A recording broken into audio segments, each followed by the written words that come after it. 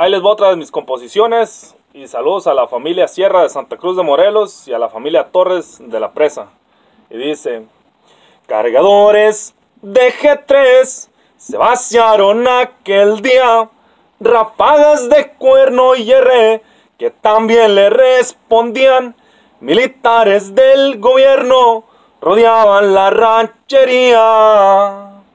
El día 28 de agosto, como a la una serían, cuando cayeron los verdes y a una casa se metían, como no traían permiso, con cuerno lo recibían.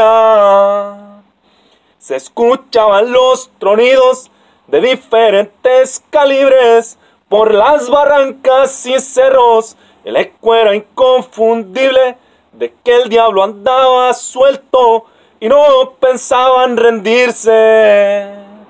Iban por el gavilán que tanto ya habían buscado, querían caer de sorpresa, pero se la pellizcaron porque un calibre 50 despedazaba soldados. El compa Belino y Tao en aquella vez cayeron como gallos de los finos, porque también respondieron, dejaron bien demostrado que a nada le tenían miedo. También cuatro del gobierno cayeron en los plomazos, tres de ellos tenían heridas de cuernos hasta en los brazos y el otro ocho pedacitos con un pinche cincuentazo. Adiós sierras michoacanas, ya no nos volverá a ver.